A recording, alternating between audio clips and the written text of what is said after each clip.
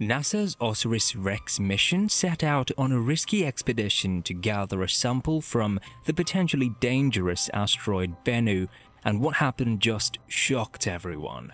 So this sample return is proof, again, that NASA does big things. The sample return canister finally touched down on Earth after years of waiting. The room was filled with whispers of awe as the scientists took out the lid. But what surprising finding did they uncover? Well, before I reveal that, can you do me a quick favor and hit the subscribe button so we can get this message to the entire world? Thank you. Now let's get right into it.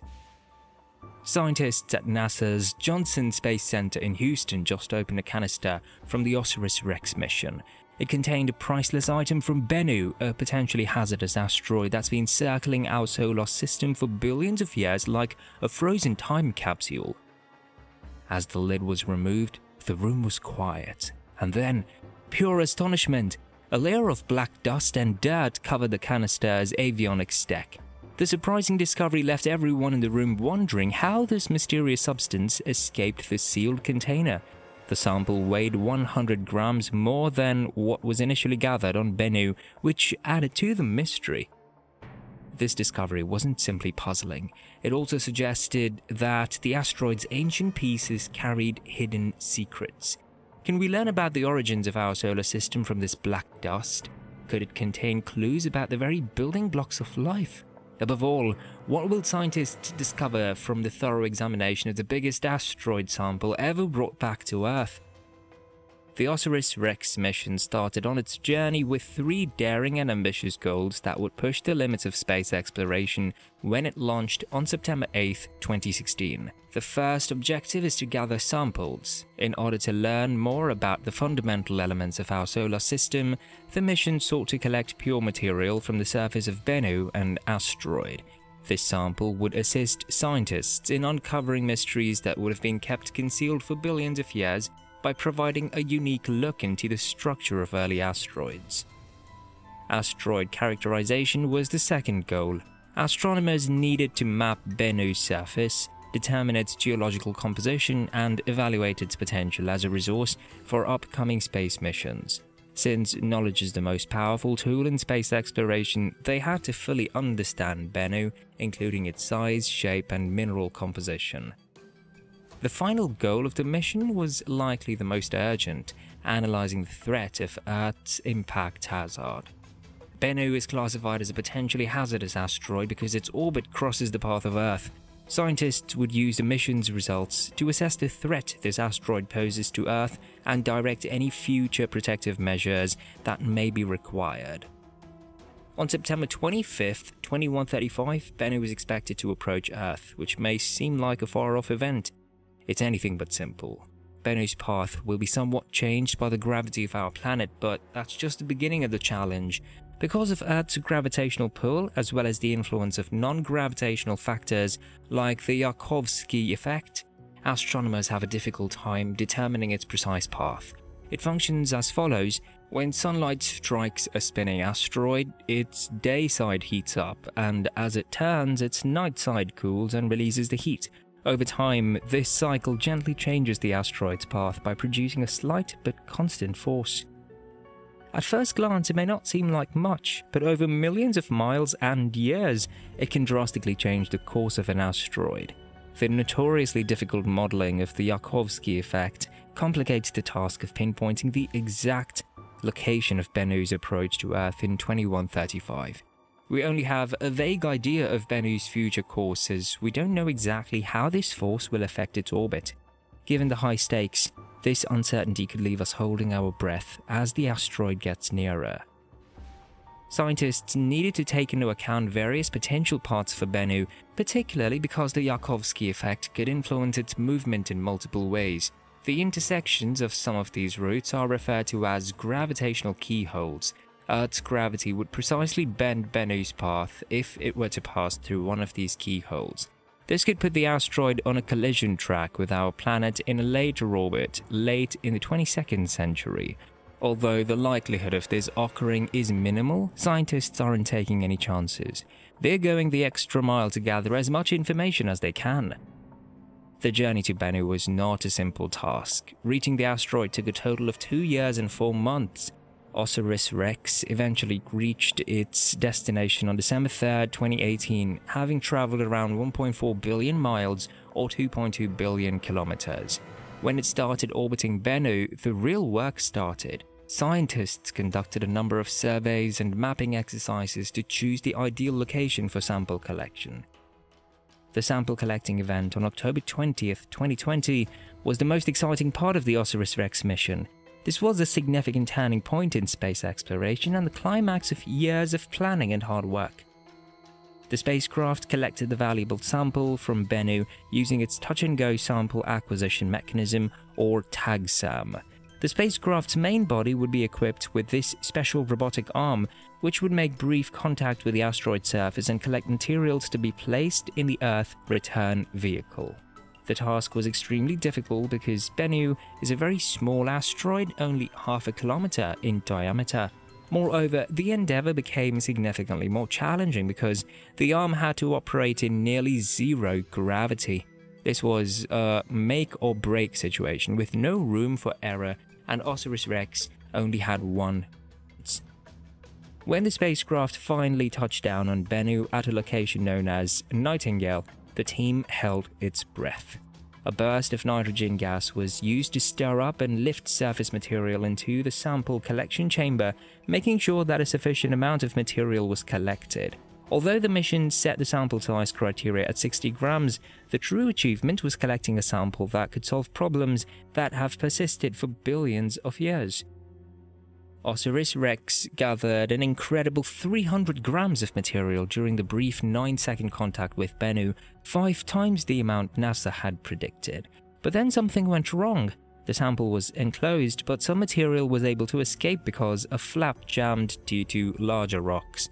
NASA decided to forego the sample's planned measurement and sealed it for its return trip to Earth in order to stop any additional loss. OSIRIS-REx left Bennu on May 10, 2021 and started the lengthy journey home. Over two and a half years later, the spacecraft approached Earth's orbit and released a capsule that contained the sample from the asteroid. The spacecraft used a parachute to halt its descent after entering Earth's atmosphere at a dizzying 12 kilometers per second. It landed safely at the Utah Test and Training Range where NASA technicians soon collected it.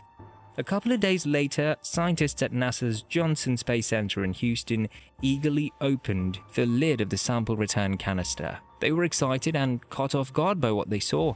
The canister's avionics deck was covered in a fine layer of dark powder and particles the size of sand, most likely from Bennu. In addition to its interior, this dust blanketed the canister's exterior, including the area where the electronics were located. But let's take a pause for a moment because things are about to get really shocking. And if you're still watching right now, you clearly enjoy this content and would love our members community. It's an area where you get to see all our new content before anyone else and get to see exclusive videos not released to anyone else. If you want to learn more, check out the link in the description or in the pinned comment. Now, let's get back to it. After the dust leaked out of the canister through microscopic openings between the lid and the body, scientists were left with a significant question. How did this happen? NASA claims that during OSIRIS-REx's brief landing on Bennu, the spacecraft produced a shock wave that spread across the asteroid surface and ejected some objects into space. Some of this debris clung to the outside surfaces of the spacecraft as OSIRIS-REx retreated. It also entered the sample canister through an open flap and mixed with the material that the spacecraft's touch-and-go sample acquisition mechanism had gathered. The sample's final mass, including the dust and debris, was approximately 400 grams, which was significantly more than what NASA needed to meet its scientific objectives. The sample was kept in excellent condition, shielded from high temperatures and contamination during its return journey to Earth. Scientists faced a special problem when they discovered dust and debris on the avionics deck. They now had the delicate task of handling and cleaning the sample canister with care using specific tools and methods to remove the debris without damaging any material or harming the delicate electronics.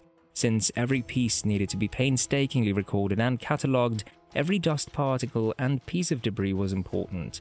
These seemingly small particles were essential to the sample inventory because they contained information that would help solve the mystery surrounding the creation of our solar system.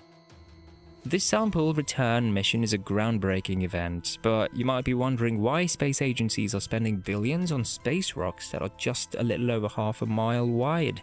The answer lies in the comparison between asteroids and time capsules. They developed when planets were still forming in the early solar system, Although asteroids and planets are made up of the same materials, they've not experienced the same geological processes that have formed Earth, such as plate tectonics. They provide a preserved record of the solar system's earliest days, something that Earth cannot offer. Indeed, scientists have found a variety of organic molecules, molecules thought to constitute the foundation of life, in asteroids, this suggests that life's essential elements might have existed in the early solar system long before Earth itself started to take shape. The finding of organic compounds on the asteroid Ryugu has opened a fascinating new chapter in our knowledge of the universe.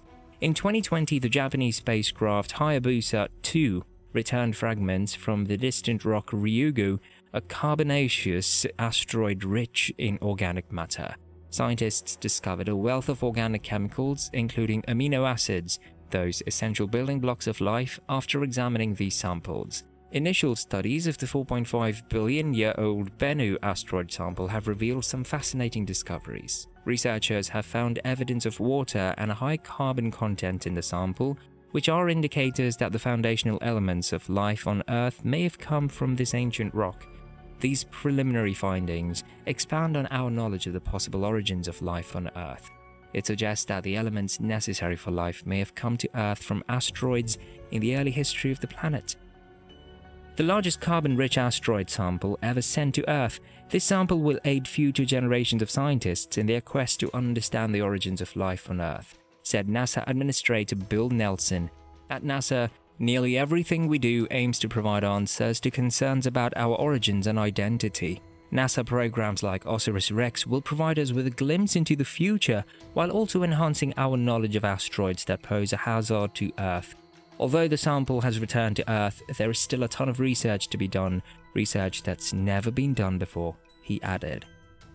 Now, the OSIRIS-REx mission, now called OSIRIS-APEX, is turning its attention to Apophis, a new asteroid. With a diameter of roughly 1100 feet or 340 meters, this near-Earth asteroid will approach Earth closely in 2029.